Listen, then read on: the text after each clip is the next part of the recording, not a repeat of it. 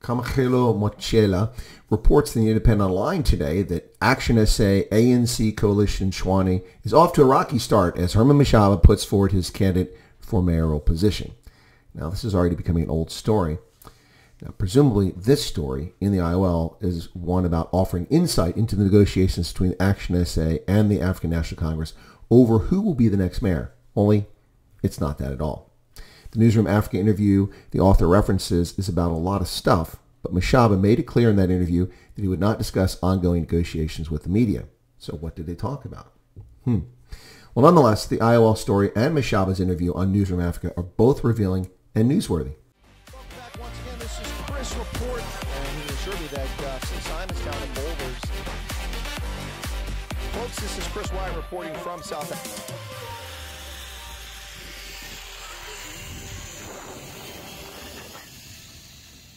And I want uh, ANC to understand that we are going to engage with them in good faith. In good faith? Hmm. What? Engaged with the ANC in good faith? So what was this all about a year ago in August at Emperor's Palace in Kempton Park at the conclusion of the multi-party charter negotiations when I interviewed Herman Mashaba? Why is he negotiating with the ANC after what he had to say just a year ago? Watch this. So it was a very necessary uh, process, uh, project, but really very difficult because there were certain things for us which were not negotiable. One, there was, you know, one was uh, any party that was prepared to work with the ANC for, for us. You're done. Yeah, no. And uh, I think God uh, came to our rescue after really putting our argument as to why it would be irresponsible, why for us as Action SA, I can tell you for us as Action SA, if we work with ANC, our party will collapse overnight. This, our party was given a mandate with, at, at formation by 2.4 million South Africans, scientifically. And one thing that uh, they've made it clear to us, under no circumstances uh, we, we can go into any arrangement with the ANC.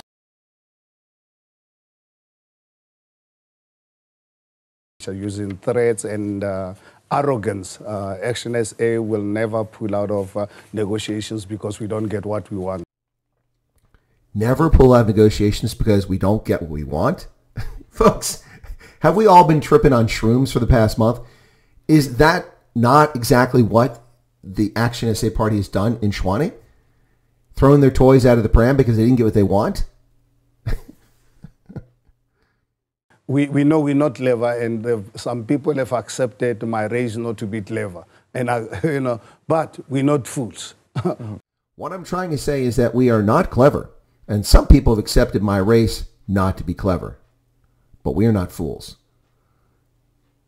What? Some people accepted my race not to be clever? Come again? What people? The African National Congress? Presumably this is a dog whistle to call someone a racist. Exactly is Herman Mashaba targeting with this gratuitous remark? Well, he must be talking about negotiations with the African National Congress since he's collapsed the coalition with the DA. So he's implying the ANC thinks that his race, Homo sapiens, is not clever? Or is he talking about skin pigmentation? So the question is, does Herman Mashaba actually think that Gauteng ANC spokesperson Lesego Makhubela and Greater Tshwane Regional Secretary George Matjila are racist? Somehow I don't think so. So why that comment in the first place? Odd, to say the least. Unless, of course, one sees this comment as a dig at the Democratic Alliance, the party which Action SA used threats and arrogance towards to pull out of conversations with the party in order to collapse the ruling coalition in Tshwane. Of course, the DA is the only multiracial major party in South Africa, so maybe he does mean the African National Congress. In any case, this is very strange. Why inject race into a conversation about the ANC? Meanwhile, Mochela reports that Gauteng chairperson Panyaza Lesufi told Helen Zille to jump because she will never dictate terms to the ANC. You will never dictate terms to us, members of the ANC. Never! You can bring all your media friends and media houses. The ANC is not for sale. The ANC is one. There's no provincial ANC nor local ANC. We are one ANC, not a federal movement. That's what he said on Twitter. Well, a few problems with that statement. Number one, if you're friends in the media, uh, the friends in the media are friends of the ANC. not really of any other political party. Definitely of the ANC. The media are very harsh and critical of anything the Democratic Alliance does. So, friends of the media, I think you got this backwards, Rocco. And the ANC is not for sale.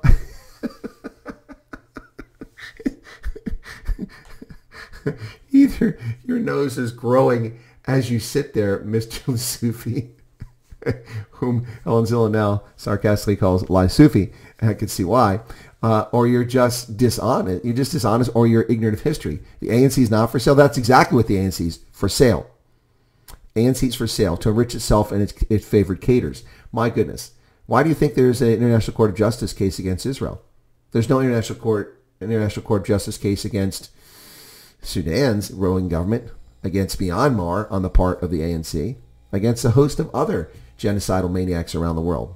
But they go after Israel. Why? Because Tehran told them to do so. The ANC very much is for sale. And there was one ANC before you started acting like your own authority and breaking away from the party. So don't try to pretend there's unity in the party. This is a message not for the media, not for you and me. It's a message for the leadership structures in the National Executive Council for the ANC. A threat to them. That's what that message is. Folks, the African National Congress in Gauteng remains obsessed with Helen Zille, a person who's not even in the Tshwane City Council. This is clearly a sign of fear on their part. Either that or they're simply racist and misogynist, gratuitously attacking the DA federal chair to drum up hatred within their own ranks to force the ANC national leadership to stay out of their affairs in Gauteng. We saw the rude comments on Monday this week when ANC First Secretary General Nomvula Mokonyane also told the media that Zille must have a thick skin and not sulk whenever things don't go her way. There has to be consistency.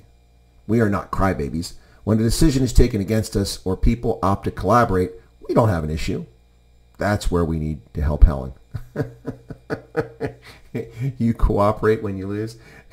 All you've done since the municipal elections of 2016 and 2021 is endlessly attempt to collapse the structures and the councils and the governance of every metro you lost control of, whether it's Nelson Mandela Bay, Cape Town, Johannesburg, Tshwane, it doesn't matter.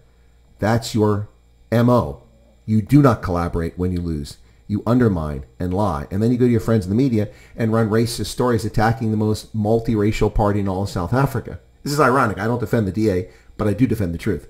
One third white, one third color, one third uh, black, white, and Indians in there too. But yeah, the party is evenly split pretty much across the board about who votes for them.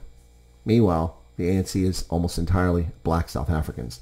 So let's get the story straight. Yikes.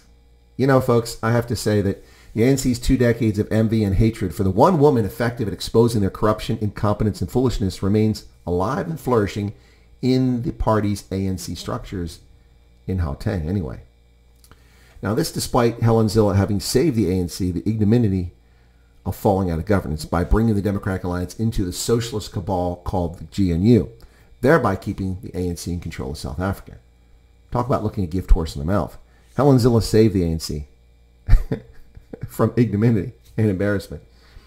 And the gratitude is hatred coming from the Gauteng structures. It's all about staying in power, folks. They don't hate Helen Zille.